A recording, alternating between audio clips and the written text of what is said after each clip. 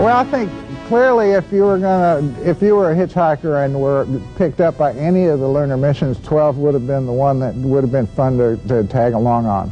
You know, they were, you know, they were all these Navy buddies. I mean, like I think Pete Conrad and Dick Gordon had been wingmates on a carrier before, you know. I mean, like they'd all known each other, flown together, felt comfortable together, um, and they had a gas. You know, I mean, like that you can tell listening to the tapes from those days. I mean, they had a lot of fun when they went.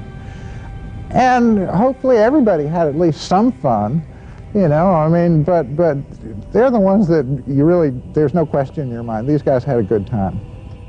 I feel that way. I thought the three of us have always been fairly close. Uh, we've had a relationship prior to ever being in the space program. Uh, and it was a very comfortable feeling to fly together.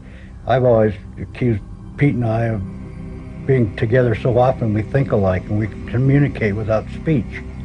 And it's a very unique experience. I don't think any other crew uh, comes to that point.